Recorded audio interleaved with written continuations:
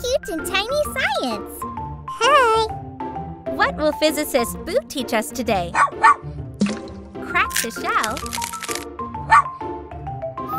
Wow. Amazing! Let's make a mini volcano with Chemist Sue. Very good. Now paint it.